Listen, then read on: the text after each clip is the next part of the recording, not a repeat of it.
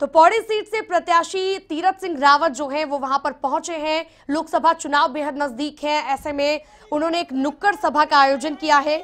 तीरथ सिंह रावत रामनगर में पहुँचे हैं और जनता से अपने लिए वोट मांगे हैं। इसके बाद चुनाव कार्यालय में जाकर कार्यकर्ताओं के साथ भी उन्होंने बैठक की है। इस दौरान उनसे बात की है कि कांग्रेस अपने अस्तित्व की लड़ाई लड़ रही है।